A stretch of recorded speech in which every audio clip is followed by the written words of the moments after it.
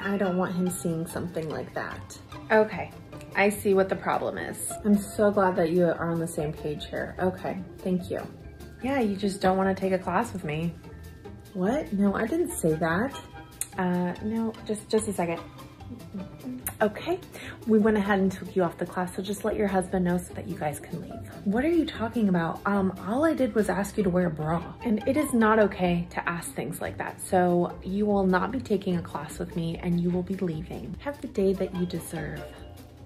You are one of the rudest people that I have ever come into contact with, and I will be letting your manager know. The same could be said for you. Toodles!